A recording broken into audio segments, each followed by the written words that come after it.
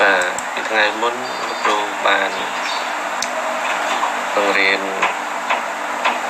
ត្រឹមលេខ2រ៉ូម៉ាំងទាក់ទងទៅនឹងពើមធ្យមចឹងថ្ងៃនេះគឺយើងចូលដល់លេខ3រ៉ូម៉ាំងវិតលបឿនគណៈ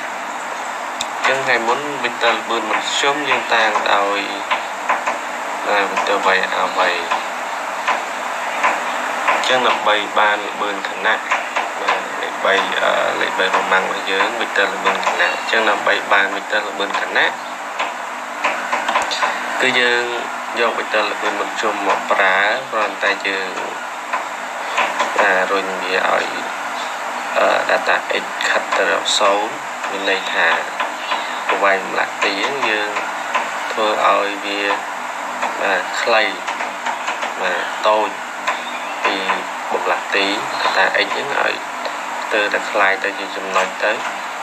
បាទហើយ data តេ data តេគឺបាទឲ្យវាខ្លីដែរ data y បាទ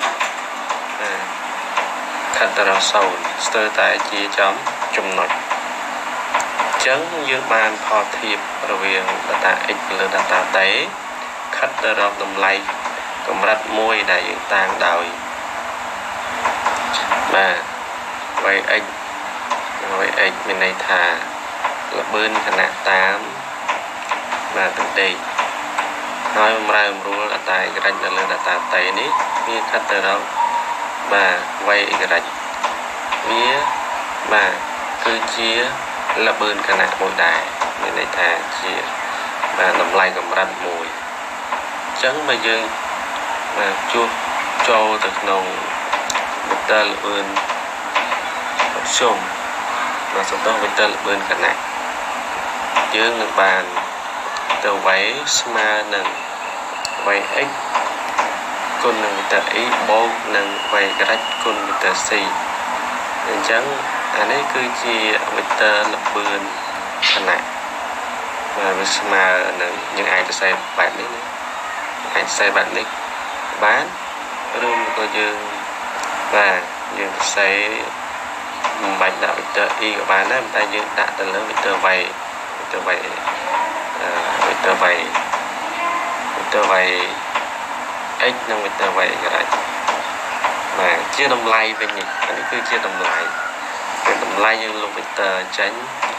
ណាយើងបានតម្លៃស្មើនឹងរឹសការ៉េនៃ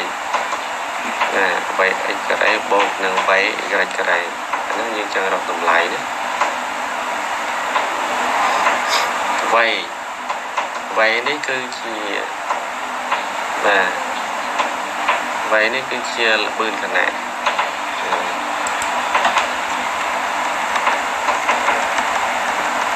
តែຂະຫນាតវាគឺគិតជាម៉ែត្រវិនាទី 3x បាទ 3x គឺជាល្បឿនតាមទឹកដីគិតជាម៉ែត្រក្នុងវិនាទីដែរ y y គឺជាល្បឿនតាមទឹកឆោគិតជាម៉ែត្រក្នុងវិនាទីដែរបាទតមកទៀតគឺយើងចូលដល់លេខ4រ៉ូម៉ាំងសំទុះមធ្យមគឺសំទុះវាជាផលធៀបរវាងបម្រែបម្រួលវិទល្បឿនធៀបទៅនឹងរយៈពេល សំទុះបាទវាស្មើបម្រែបម្រួលអញ្ចឹងសំទុះមធ្យមគឺយើងតាំងវ័យអាវ័យហើយសំទុះគឺអាអាវ័យបាទអាអាវ័យហ្នឹងវាជាសំទុះមធ្យមស្មើបម្រែបម្រួលបឿនបឿនស្រេចដកបឿនដើរចែកឲ្យតាតេហើយវៃដឺដកវៃអងតាំងដោយតាវៃចែកដោយតាតេ ទន្ទឹងមធ្យមខ្នាតគិតជាម៉ែត្រក្នុងវិនាទីបាទល្បឿនមធ្យមគិតជាម៉ែត្រក្នុងទីបាទសំទោសសំទោសមធ្យមហ្នឹងគឺគិតជាម៉ែត្រក្នុងវិនាទីក្រៃល្បឿនមិនបាទល្បឿនបាទល្បឿនដើមម៉ែត្រក្នុងវិនាទី4ស្លាច់ម៉ែត្រក្នុងវិនាទីបាទ អ្វីវៃអងនេះគឺជាល្បឿនដើមណាវៃលើជាល្បឿនស្រាច់តែខ្ញុំអត់បានសេនៅលើនេះទេនេះចឹងយើងមើលរូបបាទរូបយើងមើលនេះតកតងទៅនឹងមេតិលល្បឿននៅត្រង់ទីតាំងអំអងបាទវាមានមេតិលល្បឿនវាគឺទៅវៃអងត្រង់ទីតាំងអំលើវាមានមេតិលល្បឿនវាគឺ មេតិលវៃដើអញ្ចឹងមានន័យថាវៃអងនិងវៃដើមានទឹកទៅដើខុសគ្នាអញ្ចឹងដើម្បីបាទធ្វើដកវិតលបឿននេះយើងមើលទៅយកបឿនស្រាច់ដកបឿនឡើងយើងបានអតាវ័យមួយបាទ បានអតាវ័យហើយសន្ទុះរបស់វាគឺមានទឹកដៅដូចទៅនឹងផលដកនៃបាទបំរែបំរួលបឿនសន្ទុះមានទឹកដៅដូចទៅនឹងផលដកបំរែបំរួលបឿន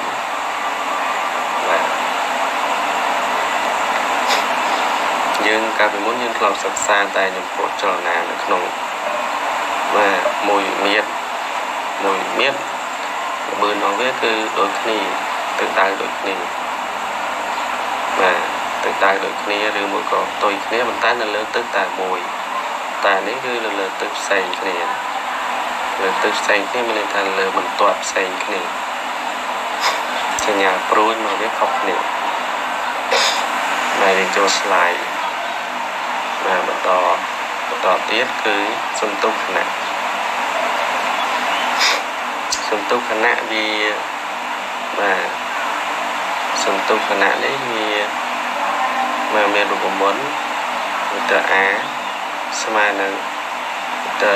រ ax បូកនឹង ay តែបើសិនជាអូនចង់រកតម្លៃជាតម្លៃវិញគឺបាទយើងរកតាម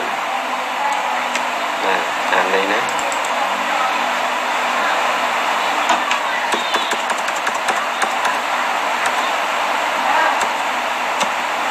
បាទរកតម្លៃវាស្មើនឹងឬករីនៃ a x ករីបាទ a x ការ៉េបូកនឹងអាអេក្រាច់ការ៉េអាហ្នឹងអញ្ចឹងរកតម្លៃសំទុកបាទចង់រកតម្លៃសំទុក ទុកនេះគឺសំទុកខណៈនេះអាចរកតាមនេះបាទ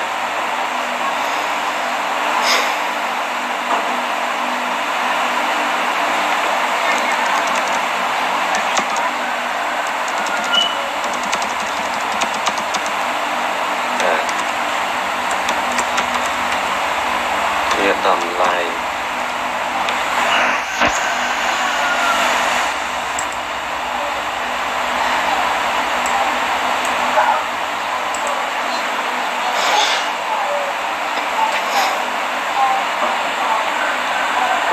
ចូលដល់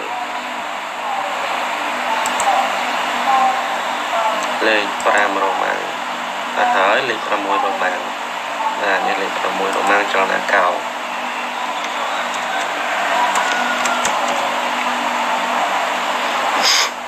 ចលនាកោចលនាកោមានចលនាអីខ្លះជាចលនាកោចលនាក្របជំពៀមចលនា សត្វហើបាទចលនាបាទរបាញ់ទឹកអីហ្នឹងគឺសត្វតែជាចលនាកោចឹងចលនាកោនៅក្នុងចលនាកោនេះគឺបាទគេយកចំណុចកលើកយកចលនាក្របបាញ់ចលនាក្របបាញ់ណាចលនាក្របបាញ់ ញ្ចឹងដែលចលនាក្របបាញ់គឺជាចលនាដូចម្ដេចចឹងយើងមើលនិយមន័យទាំងអស់គ្នាចលនាក្របបាញ់ជាចលនាមួយដែលគេបានផ្ដល់លបឿនដើមឲ្យវត្ថុមួយមានទិសដៅជាក់លាក់តាមមធ្យោបាយណាមួយបាទតាមមធ្យោបាយណាមួយបាទ ចឹងយើងសិក្សាទៅលើចលនាក្របបាញ់នេះនៅលើរូបពេលដែលយើងបាញ់ចេញពីចំណុច O បាញ់ចេញពីចំណុច O ដោយបាទល្បឿនដើម V0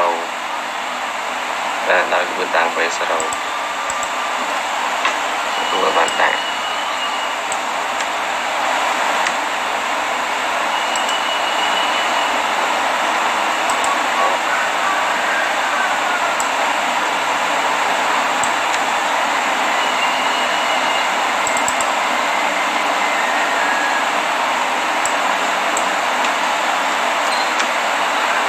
ដោយល្បឿនដើមមីទ័រ V0 អញ្ចឹងបាទចេញពីចំណុច O ទៅឡងមកវារៀងកោតែមកធ្លាក់ត្រង់ចំណុចនេះអញ្ចឹងយើងចែកចេញបាទចលនារបស់វាជា2អតាមអដេកបាទនិងតាមអឆោអញ្ចឹងតាមអដេក បឺនដើមរបស់វាគឺមានតម្លៃស្មើនឹងវេគុណកុសនឹងតែតាតាមអក្សរគឺវេគុណនឹងស៊ីននឹងតែតាបាទ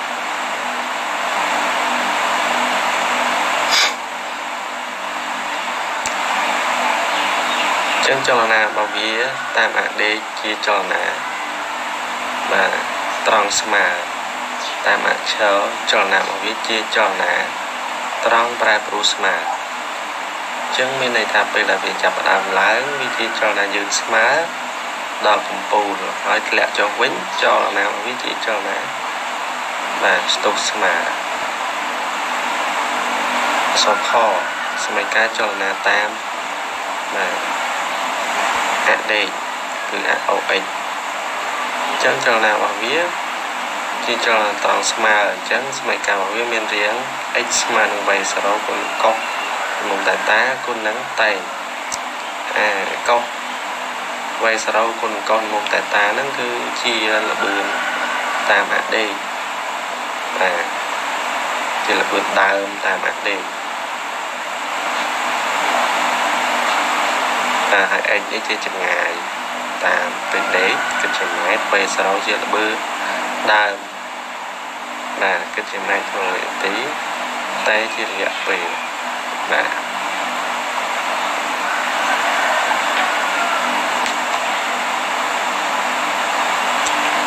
ជើងបងទស្សនាឡើងវិញបាទទាំងអស់គ្នាដែរគ្រូឲ្យមើលចាប់ពី